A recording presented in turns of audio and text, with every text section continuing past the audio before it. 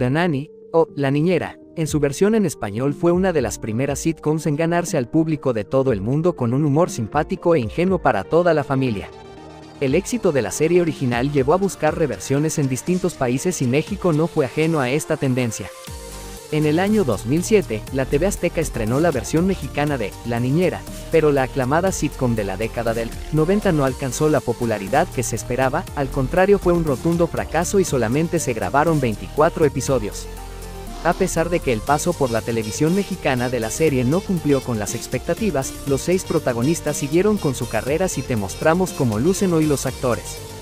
La actriz y conductora Lisette le puso el cuerpo a Francisca Flores, la Fran Fine mexicana.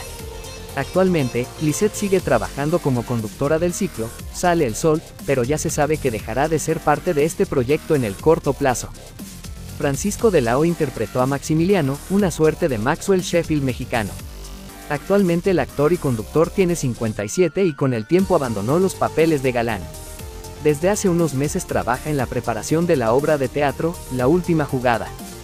La socia de Maximiliano en La Niñera, de México fue interpretada por Luciana Silveira y no se llamaba Cece Babok sino que solo le decían, Sisi. Silveira fue dejando atrás su paso en la pantalla chica y se fue afianzando como actriz de cine. Uno de sus últimos trabajos fue en la película de Alfonso Cuarón.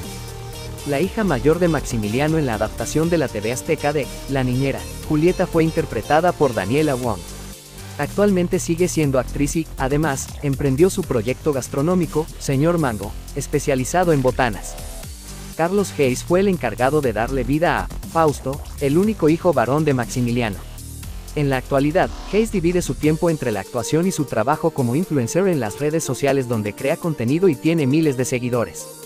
Gala Montes fue la actriz que encarnó a Elenita, la hija menor de Maximiliano. La joven actriz tenía solo 7 años cuando participó de la versión mexicana de La Niñera. Actualmente, Gala es activista, bailarina de pole dance y cantante.